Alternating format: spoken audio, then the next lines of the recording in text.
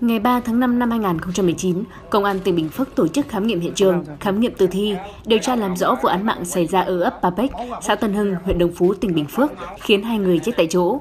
Theo thông tin ban đầu, Nguyễn Văn Long, 32 tuổi, ở ấp Ba xã Tân Hưng và Vũ Văn Cường, 30 tuổi, ở phường Tân Phú, thành phố Đồng Xoài, tỉnh Bình Phước là bạn bè với nhau. Tuy nhiên, thời gian gần đây, giữa Cường và Long thường xuyên xảy ra mâu thuẫn vì Long cho rằng Cường có quan hệ không lành mạnh với vợ mình. Chiều 2 tháng 5, Long đi làm dãy về thì phát hiện Cường và vợ mình đang ôm nhau trong bếp. Long liền cầm gậy giật đuổi đánh Cường, nhưng anh này nhanh chân chạy thoát. Sau đó hai vợ chồng Long xảy ra cãi vã, vợ của Long đòi ly hôn, gom đồ đạc bỏ đi nên Long đã bắt nhốt vợ vào phòng và khóa cửa lại, rồi lấy điện thoại của vợ, giả danh nhắn tin cho Cường và nói là Long đã về Vũng Tàu thăm con.